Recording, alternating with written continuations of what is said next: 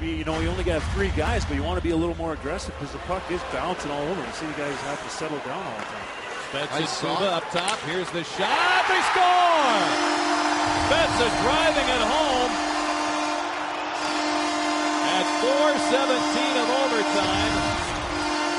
And the Senators win it by the score of 3 to 2.